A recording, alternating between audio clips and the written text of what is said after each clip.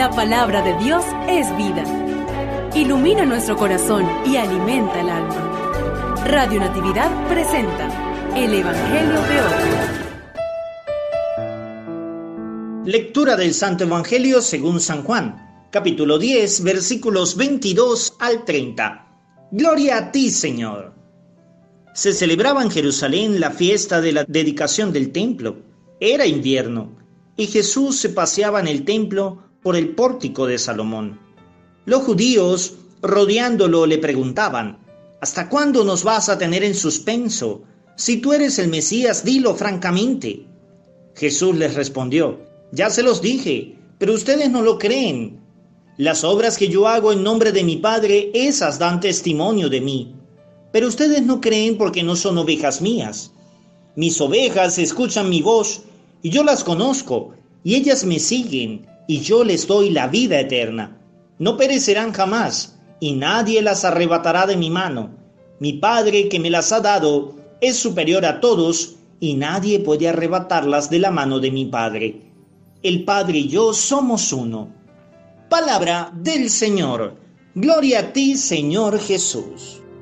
Un saludo de paz y bien para todos aquellos que nos escuchan a través de Radio Natividad, la emisora católica del Táchira, donde queremos colaborar para que la fe cristiana se expanda por todo el mundo, porque los cristianos estamos llamados a ser personas de fe, de fecundidad, de frutos.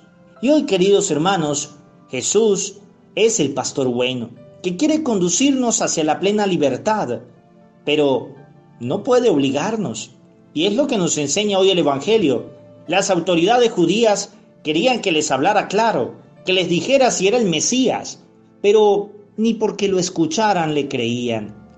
No daban fe a las obras maravillosas y milagrosas del Señor. Y esto es porque no escuchaban como ovejas. Y es que una oveja escucha a su protector, escucha a su pastor, pero en cuántas ocasiones nos hace falta ese sentido de oveja, ese poder acercarnos realmente y reconocer que Jesús es el camino, la verdad y la vida que nos guía al Padre. Pero si no me siento oveja del Señor, ¿cómo podré creer en Él? Una de las preguntas fundamentales hoy es si tú eres oveja del rebaño de Dios. Hay tantas ovejas divididas, dispersas, y en muchas ocasiones es porque están escuchando a alguien que aparenta hablar de Dios, pero no es de Dios. ¿Tú qué estás escuchando? ¿Tú a quién sigues? ¿Tú en quién crees? Y si la respuesta es en Jesús, ¿realmente lo estás siguiendo? ¿Realmente eres su oveja? No olvides las etiquetas, los sacerdotes buenos somos más, y yo tengo un amigo sacerdote. Dios te bendiga. Gloria al Padre y al Hijo y al Espíritu Santo como era en el principio, ahora y siempre, por los siglos de los siglos. Amén.